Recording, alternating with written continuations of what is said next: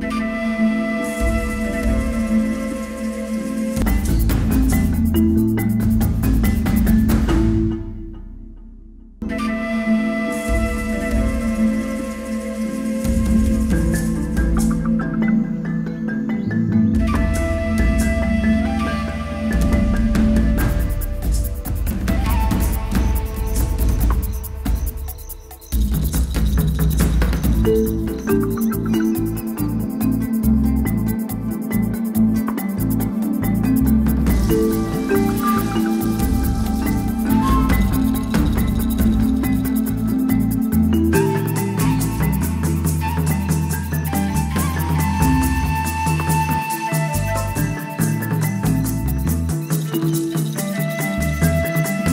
அளவுக்கு அடிப்படையாக கொஞ்சம் நிதி இருந்தால் அவர் அங்க வந்து படிக்க முடியும். அங்கேயே தொடர்ந்து வேலை பார்க்கறதுக்கும் அஹ், நீங்க சொல்ற மாதிரி பிஆர் வாங்கி அங்கேயே வந்து தொடர்ந்து இருப்பதற்குமான வாய்ப்புகள் எல்லாம் அவர் வந்து உருவாக்கலாம். ஆனா இப்போ சாதாரணமான ஆட்கள் சில பேர் என்ன சொல்லுவாங்க பதினஞ்சு லட்சம் வந்து இருந்தா நான் வந்து ஒரு தொழில் தொடங்கிடுவேன். நான் அதை வச்சு இன்ன பண்ணிடுவேன் அன்ன பண்ணிடுவேன்? நான் ஏன் அங்க போய் படிக்கணும் ஒரு டிகிரிக்காக? அப்படின்னு ஒரு சாதாரண ஆட்கள் கொஞ்சம் கேட்பாங்க தானே. இங்கே படித்து இந்த இது கிடைக்கிறதன் மூலமாக அந்த மாணவருக்கு கிடைக்கக்கூடிய பெரிய ஒரு அஹ், நன்மைன்னு நீங்க எதை சொல்வீங்க? இது வந்து அகைன் இது வந்து நன்மை இல்ல மெரிட் டிமெரிட்னு பார்க்க முடியாது. அவங்க அந்த மாணவர் அந்த அந்த பர்டிகுலர் பர்சன் என்ன இன்ட்ரெஸ்ட் இப்போ அவங்களுக்கு ஒரு குளோபல் செட்டிங்ல அந்த எக்ஸ்போஷர் எனக்கு வேணும். நான் வந்து இந்த கண்ட்ரில போய் ஒர்க் பண்ணணும்னு நினைக்கிறேன். எனக்கு வந்து வட அமெரிக்கால நான் இருக்கணும். நான் கனடால இருந்து நான் அப்புறம் யூஎஸ் கூட நான் போய் ஒர்க் பண்ணணும். இங்க இருக்கிற கம்பெனிஸோடைய இதுல நான் ஒர்க் பண்ணணும். ஆபீசஸ்ல ஒர்க் பண்ணணும்.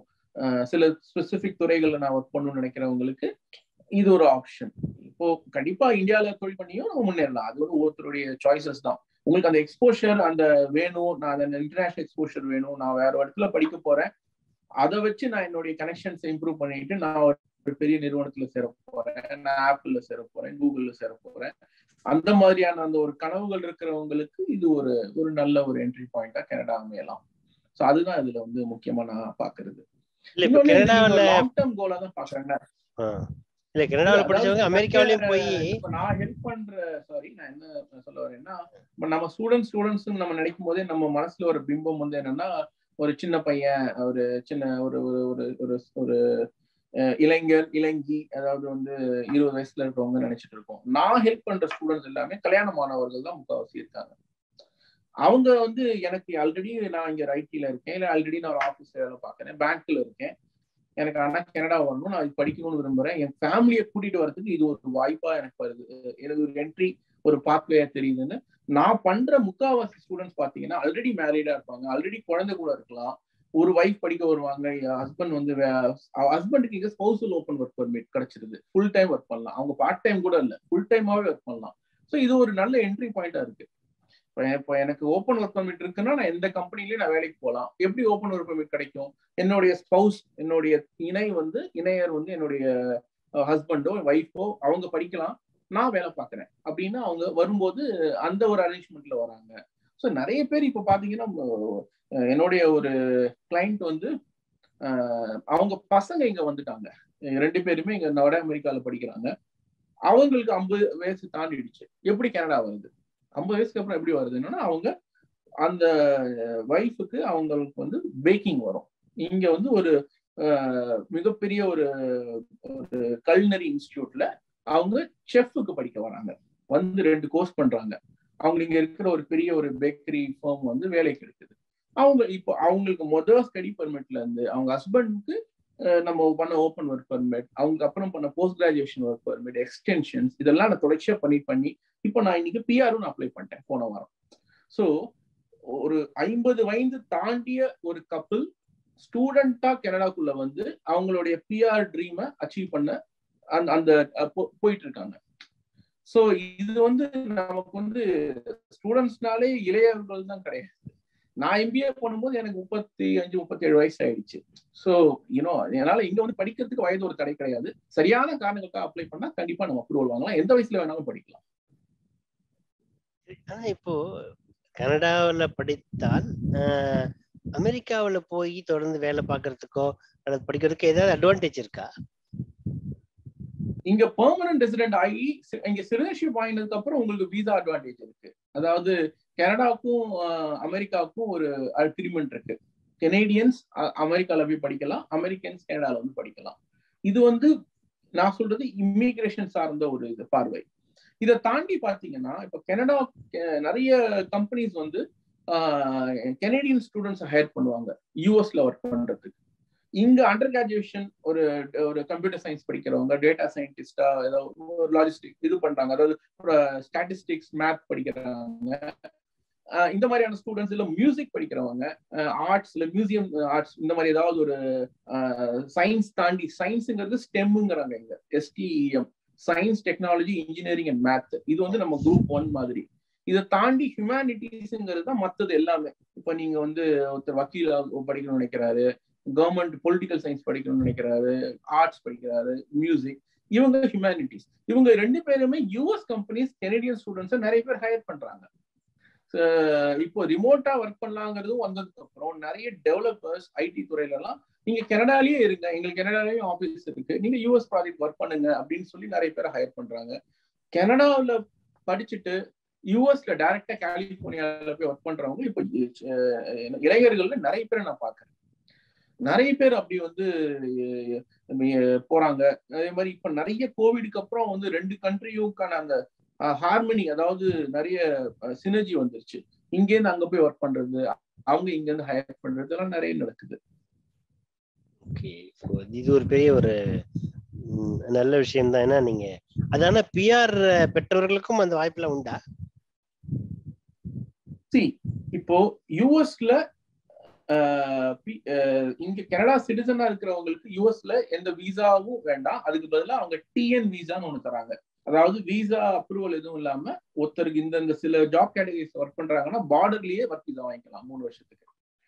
மற்றவங்களுக்கு அந்த எம்ப்ளாயர் ஸ்பான்சர் பண்ணணும். அந்த எம்ப்ளாயர் வந்து ஸ்பான்சர் பண்ணணும். ஹெச் ஒன்னோ எல் ஒன்னோ ஏதோ ஒரு விசா ஒர்க் விசா ஸ்பான்சர் பண்ணணும். பிஆரா இருந்தாலும் அவங்களுக்கு ஸ்பான்சர்ஷிப் வேணும். ஏன்னா பிஆர் வந்து இன்னும் இந்தியன் பாஸ்போர்ட் ஹோல்டர் தானே அவங்க.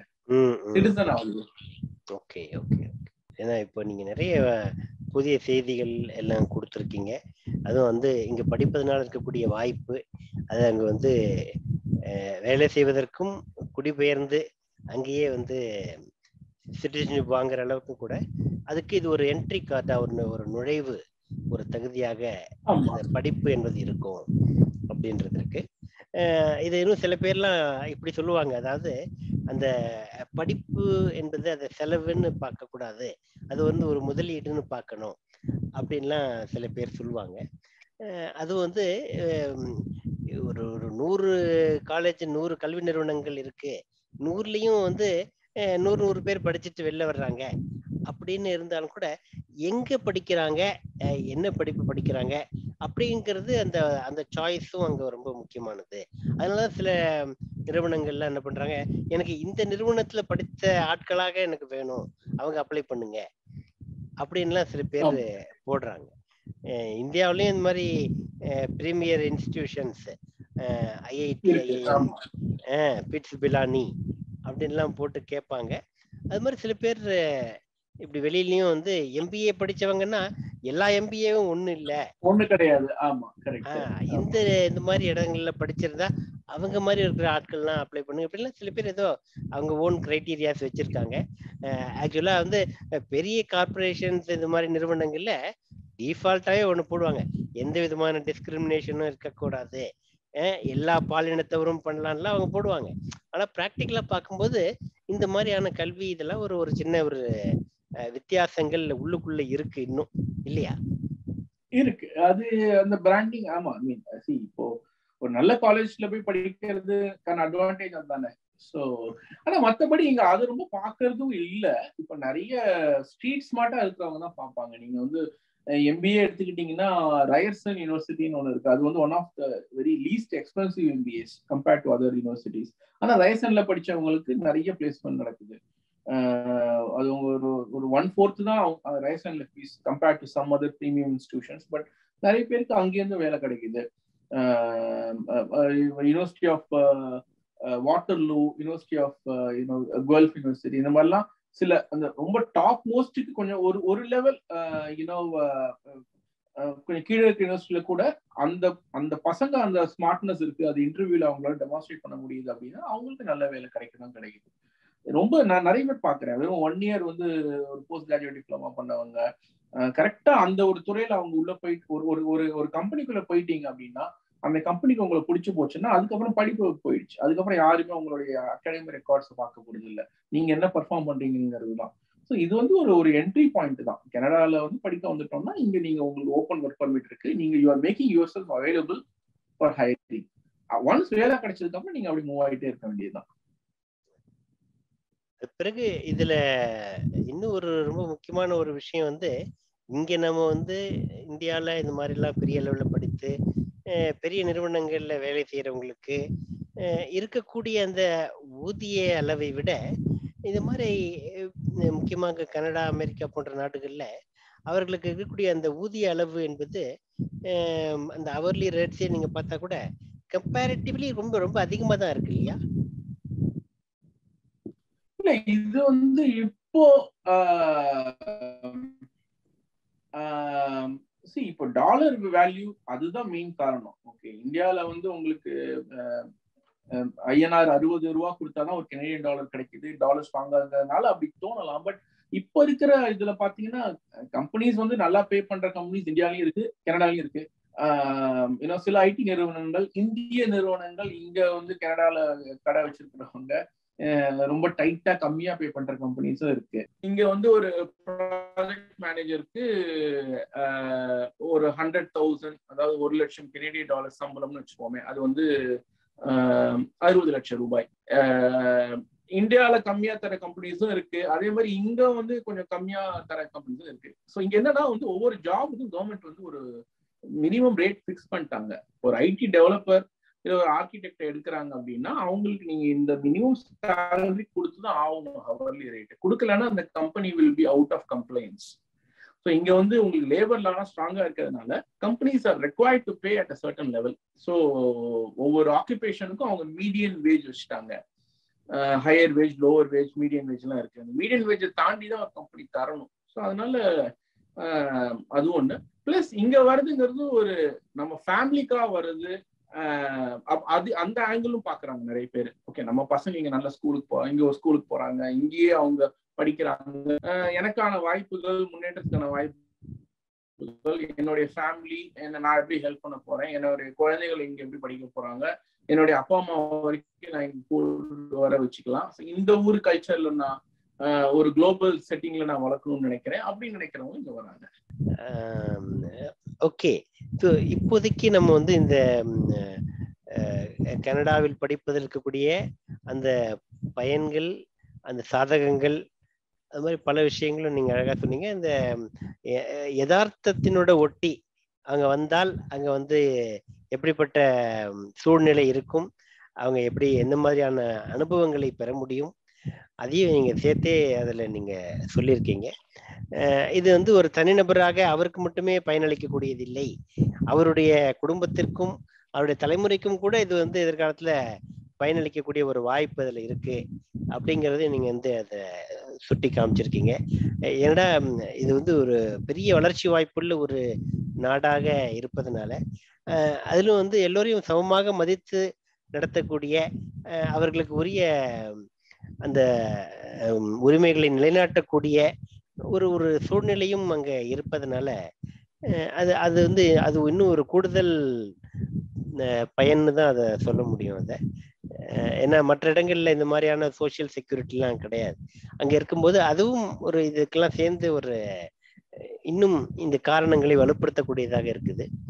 அதனால இந்திய மாணவர்கள் கனடாவுக்கு போய் படிக்கணும் அப்படின்னு நினைத்தால் அவங்க வந்து இணையத்துல முதல்ல தேடினால் அது நீங்க சொன்ன அந்த டிஎல்ஐ இல்லையா? கனடாவில் படிக்க வரவங்க சில விஷயங்களை வந்து மனசுல வச்சுக்கணும். நான் சுருக்கமா சொல்லிடுறேன். நம்பர் ஒன் அவங்க படிக்கிற யூனிவர்சிட்டி டெசிக்னேட்டட் லேர்னிங் இன்ஸ்டிடியூஷனா டிஎல்ஐ ஸ்டேட்டஸ்ல இருக்கிற ஒரு காலேஜா யூனிவர்சிட்டியாங்கிறத நீங்க செக் பண்ணிக்கணும். கவர்மெண்டுடைய கனடா கவர்மெண்டோடைய வெப்சைட்லயே டிஎல்ஐ டைரக்டரி இருக்கும். நீங்க ஒரு காலேஜ் நேம டைப் பண்ணீங்கன்னா அது சொல்லும். இந்த டிஎல்ஐயா டிஎல்ஐ இல்லையான்னு. இல்லாட்டி நீங்க ஏதாவது பிரைவேட் இன்ஸ்டிடியூஷன்ல போய் சின்ன யூனிவர்சிட்டிஸ் இந்த மாதிரி பிரைவேட் காலேஜஸ்லாம் இங்க இருக்கு. அங்க படிச்சீங்கன்னா கோர்ஸ் முடிக்க முடியும். ஆனா கோர்ஸ் ஸோ டிஎல்ஐயா செக் பண்ணிக்கோங்க. இரண்டாவது டிஎல்ஏயா இருந்தாலும் நீங்க படிக்கிற course or diploma post graduation work பர்மிட்டுக்கு eligible அது போஸ்ட் கிராஜுவேஷன் ஒர்க் பர்மிட் தரக்கூடிய ஒரு கோர்ஸாங்கிறதையும் நீங்க பார்க்கணும். கோர்ஸ் வந்து பிஜிடபிள்யூபி அதாவது post graduation work permit not eligible இருக்க வாய்ப்பு இருக்கு. அதுவும் செக் பண்ணிக்கோங்க. பிளஸ் அப்படிங்கிற அந்த இதில் அப்ளை பண்றீங்கன்னா அதுக்கான குறைந்தபட்ச தகுதி அதாவது வந்து நீங்க ஐஏடிஎஸ் எக்ஸாம் அகடமிக் வெர்ஷன் எழுதி ஆறு வச்சிருக்கோம் ஆறு ரீடிங் ரைட்டிங் ஸ்பீக்கிங் லிசனிங் எல்லாமே சிக்ஸுக்கு மேல இருக்கணும். ஜிஐசி அதாவது கேரண்டீட் இன்கம் சர்டிஃபிகேட் அப்படின்னு உங்களுடைய லிவிங் எக்ஸ்பென்சஸ்க்கு பத்தாயிரம் அரௌண்ட் டென் தௌசண்ட் டாலர்ஸ் ஒரு எக்ஸாக்ட் அமௌண்ட் வந்து நீங்க வந்து டெபாசிட் பண்ணிருக்கணும் இங்க ஒரு கெனடியன் பேங்க்ல அதுக்கான ப்ரூஃப் அட்டாச் பண்ணணும். இந்த மாதிரியான ரெக்குவயர்மெண்ட்ஸ் இருக்கு. ஸோ இதெல்லாம் மீட் பண்ணணும். ஸோ இது நீங்க காலேஜ் செலெக்ஷன்ங்கிறது ரொம்ப ஒரு முக்கியமான விஷயம். நீங்க வந்து நான் ரெக்கமெண்ட் பண்றது இப்போ கேனக்ஸ்டோடைய கிளைண்ட்னா வி வி ஹெல்ப் யூ நம்ம அப்ளை போர்ட் அப்படிங்கிற ஒரு ஒரு நிறுவனத்தோட நம்ம வந்து partnership we are recruitment partner we can help you in filtering and finding the right colleges for you universities for you நினைக்கிறீங்க. எவ்வளோ உங்க பட்ஜெட் எங்க படிக்கணும்னு நினைக்கிறீங்க? எங்கே வேலை வாய்ப்புகள் அதிகம்? எந்த ஊர் வந்து செட்டில் ஆகிறதுக்கு நல்லது? இந்த மாதிரியான ப்ராக்டிக்கல் கைடன்ஸோட வி கேன் ஹெல்ப் யூ இந்தியாவில் பண்றீங்கன்னா நம்பகமான ஐடிபி மாதிரியான ஐடிபின்னு ஒரு நிறுவனம் இருக்கு. அவங்க ஐஎல்டிஎஸ் டெஸ்ட்டும் அவங்க ஐடிபியை நான் ரெக்கமெண்ட் பண்ணுவேன். அதாவது உங்களுக்கு அட்மிஷனுக்கு அவங்க ரெக்கமெண்ட் பண்ணுவேன். விசா ப்ராசஸிங் அவங்கள ரெக்கமெண்ட் பண்ண மாட்டேன். ஏன்னா அவங்க வந்து அது ரொம்ப ஸ்பெஷலைஸ் பண்ணி பண்ண மாட்டாங்க. கன்சல்டன்ஸ் பண்றது நல்லது. இஃப் யூ நீட் ஹெல்ப் மற்றபடி நீங்க நிறைய புற்றீசல் போல இருக்கிற சின்ன சின்ன ஆர்ஐஎஸ்ஐ அதாவது registered immigration student immigration advice இல்ல அவங்க ரெகுலேட்டட் கெனடியன் இமிகிரேஷன் கன்சல்டன்டா அவங்க ரெஜிஸ்டர்டா அப்படிங்கறதையும் நீங்க கேட்டு தெரிஞ்சுக்கோங்க. இப்ப என் மனிதர நிறுவனம் வந்து உங்களுக்கு காமிக்கணும். அவங்க ஆக்டிவ் மெம்பரா இருக்கணும். இமிகிரேஷன் இன்னும் கன்சல்டன்ட்டுங்கிற அதுக்கான மெம்பர்ஷிப் அதுக்கான லைசன்சிங் அவங்க சூஸ் பண்ணுங்க. அண்ட் விசா அப்ளை பண்ணுங்க. சரியான காரணங்கள் கூட நம்ம அந்த எப்போ அந்த ஸ்ட்ராங்கா நம்ம வந்து படிக்கணுங்கிறதுக்கு அந்த ஸ்டேட்மெண்ட் ஆஃப் பர்பஸ் ஏன் படிக்க வரோம்? இல்ல அதை படிச்சுட்டு என்ன பண்ண போறோம்? இந்த விஷயங்கள் நம்ம சரியா நம்ம வந்து எக்ஸ்பிளைன் பண்ணலன்னா விசா கிடைக்காம போறதுக்கான வாய்ப்புகள் அதிகம். அதை எலிமினேட் பண்ற மாதிரி உங்க அப்ளிகேஷன் ஸ்ட்ராங்கா இருக்கணும். அதுக்கு நாங்கள் என்கிட்ட வந்தீங்கன்னா நாங்களும் ஹெல்ப் பண்ணுவோம். சரி இப்போதைக்கு அந்த அந்த கல்வி நிறுவனத்தை அந்த தேர்ந்தெடுத்தல் அதுக்கான ஒட்டுமொத்த அந்த ப்ராசஸ் மற்ற எல்லாத்தையும் வந்து இறுதி செய்வதில் நீங்க வந்து இணையத்துல தேடி கனடா டாட் சிஏவையும் நீங்க பார்க்கலாம். அல்லது நீங்க வந்து கேனெக்ஸ்ட் டாட் சிஏவையும் நீங்க வந்து பார்க்கலாம். அதுலயும் உங்களுக்கு கன்சல்டேஷன்ல புக் பண்ணா நீங்க இது மேற்கொண்டு நீங்க அதை வந்து அவங்களுக்கு வழிகாட்டுவீங்க. கண்டிப்பா கண்டிப்பா. நீ ஒரு ஒரு கன்சல்டேஷன் புக் பண்ணா டைரக்டா என்கிட்ட பேசலாம். நம்ம அது வந்து ஒரு நான் அந்த காலை வந்து ஒரு அசஸ்மெண்ட் கால் ஒரு ஆப்ஷன்ஸ் என்ன இருக்குன்னு சொல்ற ஒரு காலை தான் அந்த கால் இருக்கும். அது வந்து இப்போ கேனெக்ஸ்ல நீங்க மெம்பர் ஆகுங்க. அது என்னுடைய அதுக்கான கால் இல்லை அது. உங்களுக்கு என்னெல்லாம் ஆப்ஷன்ஸ் இருக்கு நீங்க என்னெல்லாம் பண்ணலாம்? சில பேருக்கு கன்ஃபியூஷன் இருக்கலாம். நான் பிஆர் அப்ளை பண்ணுமா? ஸ்டடி பர்மிட் வருது பெட்டரா எனக்கு எதுல வாய்ப்பு அதிகம்? ப்ரோஸ் அண்ட் கான்ஸ் பாதக சாதகம் என்ன? எதுல செலவு கம்மி எதுல அதிகம்? ஸோ நம்ம அவங்களுக்கு ஒரு பிக்சர் கொடுத்துட்றோம். நான் அந்த என் கூட ஒருத்தர் புக் பண்ற கன்சல்டேஷன்ங்கிறது அவங்களுக்கான சொல்யூஷனிங் கால் அதாவது வழிமுறைகள் என்ன அடுத்து உங்களுக்கு என்னென்ன ஆப்ஷன்ஸ் இருக்குன்னு சொல்ற கால் அதுக்கப்புறம் நீங்க வந்து ப்ரொசீட் பண்றதோ பண்ணாததோ அது வந்து அந்தந்த கிளைண்ட்டுடைய ஒரு சாய்ஸா நம்ம விட்டுருவோம். அப்படி எங்க கூட ப்ரொசீட் பண்றவங்களுக்கு அந்த கன்சல்டேஷன் காலையுமே நம்ம ஃப்ரீ அதாவது நம்ம அதுக்கான ஃபீஸோ வாட் எவர் நம்ம கன்சல்டேஷன் வாங்கினதை நம்ம திரும்ப கிரெடிட் பண்ணிடுறோம். We give it back as part of our அவங்க ப்ராசஸிங் நம்ம கூட பண்றாங்கன்னா அது அவங்களுக்கு ஃப்ரீயாகவும் ஆயிடுது. என்னை பொறுத்தவரை அந்த கன்சல்டேஷனுங்கிறது அவங்களுக்கான ஒரு பாதையை காட்டுற ஒரு ஒரு செஷன் அவ்வளவுதான். அது வந்து நம்ம எங்களுக்கு எனக்கு தெரிஞ்ச இன்ஃபர்மேஷன் எல்லாமே நான் அந்த கால்ல நான் கவர் பண்ணுவேன். அதனால இந்த வாய்ப்பை இந்திய மாணவர்கள் பயன்படுத்தி கொள்ளலாம். அவர்கள் வந்து முதல்ல ஒரு சிறு முயற்சி எடுத்து வைக்கலாம். முதல்ல அது கிடைக்குது அங்க வந்து போய் படிக்கிறோம் அப்படின்ற அந்த முடிவுக்கு முன்னாடி ஒரு ஒரு நீங்க ஒரு முயற்சி எடுத்து வைக்கலாம். அதுல ஏதாவது வந்து முக்கியமா இந்த அகாடமிக் எக்ஸலன்ஸ் இருக்கிறவங்க அவங்களும் முயற்சி பண்ணா ஸ்காலர்ஷிப்போடயே அவங்க படிப்பதற்கும் ஒரு வாய்ப்பு கிடைக்கும். இதுல இன்னொன்னு என்ன சொல்ல வரேன்னு ஆட் பண்ணணும்னு நினைக்கிறேன்னா அதாவது சில பேர் வந்து ரொம்ப ஷார்ட் கட்ஸ் இருக்கிறதா நினைக்கிறாங்க. கனடால வந்து நான் செட்டில் ஆகணும் நான் வந்து சும்மா விசிட்டர் விசா எடுத்துட்டு வரேன் எனக்கு வேலை கிடைச்சிருமா? இல்ல எந்த இன்டர்வியூ இல்லாம எனக்கு வேலை கிடைக்குமா? எப்படி ஒர்க் பண்றதுங்கிறாங்க. பொதுவா இந்த எந்த ஷார்ட் கட்டுமே கனடாவுக்கு வந்து பெருசா ஒர்க் ஆகாது. ஒண்ணு உங்க பணத்தை நீங்க எழுப்பீங்க பெரிய லெவல்ல நீங்க யார்ட்டையாவது எழுக்க வாய்ப்பு இருக்கு. ஆஹ் இல்ல ஆஹ் அது ஒரு சரியான வழிமுறையா இல்லாம இருக்க வாய்ப்பு இருக்கு. இதுல ஸ்டடின்னு வந்துட்டீங்கன்னா அது ஒரு சரியான ஒரு வழி. இப்ப நீங்க ஒரு காலேஜ்ல வந்து அட்மிஷன் வாங்குறீங்க. நீங்க படிக்க வரீங்க ஸ்டூடெண்டா உங்களை அப்ரூவ் பண்றாங்க call government of Canada part time தராங்க. படிப்பு முடிச்சோட வேலை வாய்ப்புக்கும் ஒரு ஃபுல் டைம் ஒர்க் பண்றதுக்கான விசா தராங்க ஸோ இது எல்லாமே ஒரு ஒரு ஸ்ட்ரக்சர்ட் பாத்வேயா இருக்கு. இது வந்து நம்ம பழனி மலை ஏறுற மாதிரி தான் படிப்படியா தான் ஏறணும். இதுக்கான அது- அதுக்குன்னு அவங்க வச்சிருக்கிற பாதையில நம்ம கரெக்டா போனோம்னா நீங்க ஈஸியா நீங்க செட்டில் ஆகலாம். இதுல ஷார்ட்கட்டா நம்ம வந்து எதுவுமே பண்ண முடியாது. நீங்க டைரக்டா எனக்கு எனக்கு படிக்கலாம் வேணாம். நான் டைரக்டா நான் விசா எனக்கு ஒரு வேலை மட்டும் வாங்கி கொடுத்துருங்க அப்படின்னா அப்படி இங்க இருக்கிற நிறுவனங்கள் ஆஹ், அவ்வளவு ஈஸியா வேலை கொடுத்துட மாட்டாங்க. அவங்க நிறைய விஷயங்கள் பார்ப்பாங்க. ஸ்டடிங்கிறது ஒரு பாப்புலர் ரூட் ஒரு இவ்வளவு ஏன்னா முப்பத்தி நாலு பர்சன்ட் இந்தியன் ஸ்டூடெண்ட்ஸ் தான் இப்போ கனடாவுடைய நூறு பேர் படிக்கிறாங்கன்னா அதில் முப்பத்தஞ்சு பேர் இந்தியன்ஸா இருக்காங்க இப்போ. ஸோ அவ்வளோ பேர் படிக்க வராங்க. அதனால வந்து அது வந்து அவங்க எல்லாமே ரிசர்ச் பண்ணிட்டு தான் அவ்வளோ பேர் படிக்க வராங்கன்னா அதுல ஒரு ரீசனிங் இருக்கு. அது- அது வந்து ஏன்னா இங்க அஃபோர்டபுளா இருக்கு. இங்க படிக்கிற கோர்சஸ் ப்ராக்டிக்கலா இருக்கு. உங்களுக்கு வந்து ஈஸியா ஒர்க் கோர்ஸ்ல இன்டெகிரேட் பண்ண முடியுது. உங்களுக்கு உங்க கல்ச்சுரல் டைவர்சிட்டி உங்களுக்கு உங்க கல்ச்சர் நம்ம கல்ச்சரும் இருக்கும் மற்ற கல்ச்சரும் தெரிஞ்சுக்கலாம் எல்லாமே இருக்கு. இது எல்லாம் ஒரு ஒரு ஒரு ஒரு ஒரு- படிக்கிறதுக்கான ஒரு சாதகமான சூழலை தான் கனடா தருதுன்னு நான் நம்புறேன்.